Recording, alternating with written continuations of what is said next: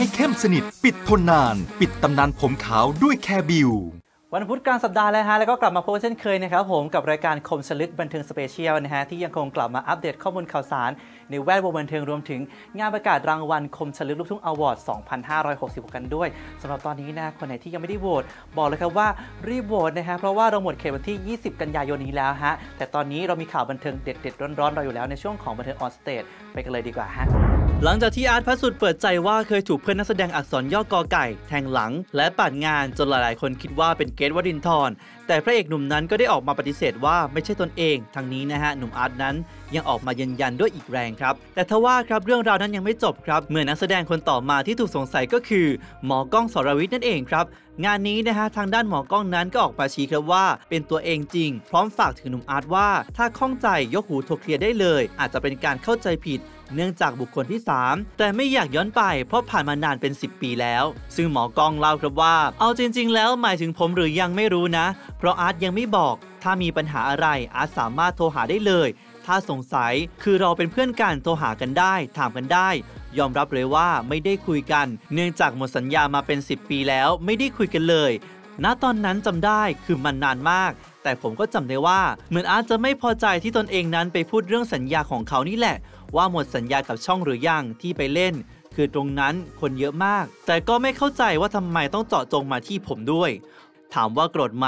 คือไม่ได้โกรธที่ออกมาพูดเลย ในเมื่อไม่รู้จริง ๆ ก็ไม่โกรธ ยืนยันว่าตนเองไม่ได้ทำแบบนั้นที่เข้าใจกัน ส่วนนักแสดงอักษรย่อกอไก่แทงหลังและก็ปาดงาน ที่อาร์ตสื่อออกมานั้น จะใช่หมอกล้องหรือไม่ต้องให้หนุ่มอาร์ตออกมาเป็นคนชี้แจงเอง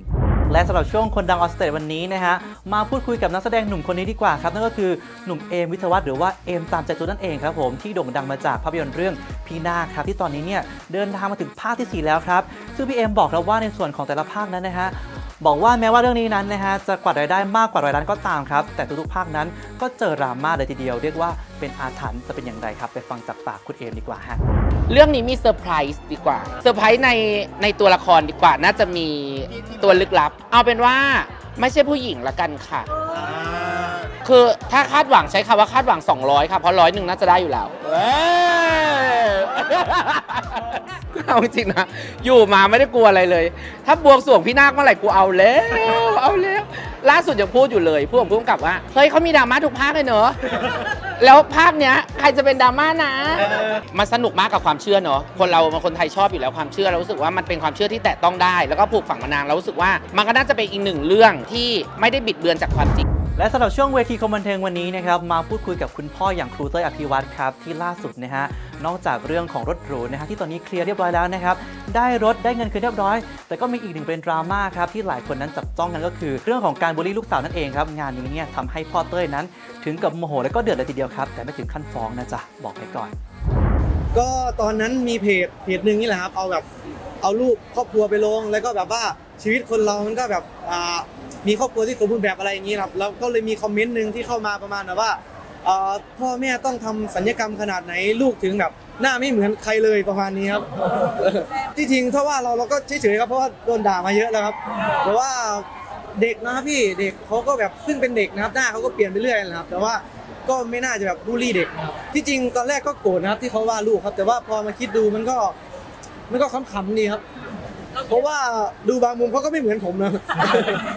เรื่องอะไรนะ เอาเรื่องของเรื่องการฟ้องแบบอะไรโอ้ไม่ไม่แล้วครับครับ เพราะว่าที่ผ่านมา เราก็โดนด่าโดนอะไรบ้างอย่างนี้เยอะมันก็ธรรมดาของโซเชียลครับ ขนาดคนไม่ดังยังโดนด่านะครับ